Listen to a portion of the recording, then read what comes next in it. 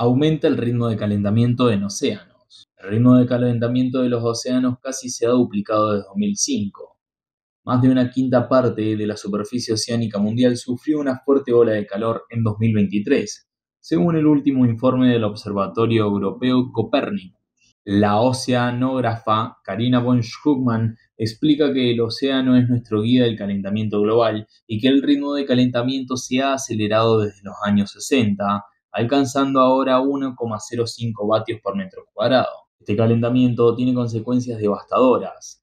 Océanos más calientes significan tormentas y huracanes más intensos, causando destrucción e inundaciones. Además, el 22% de los océanos experimentaron olas de calor graves en 2023. Estas olas de calor afectan a la biodiversidad marina, provocando migraciones, mortalidad masiva de especies y degradan ecosistemas.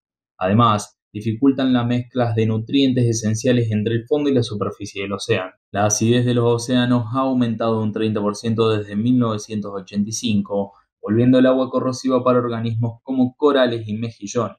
Los océanos, que absorben más del 90% del exceso de calor y una cuarta parte del dióxido de carbono emitido, están en riesgo. ¿Qué opinas del calentamiento global en océanos? Te leemos en los comentarios.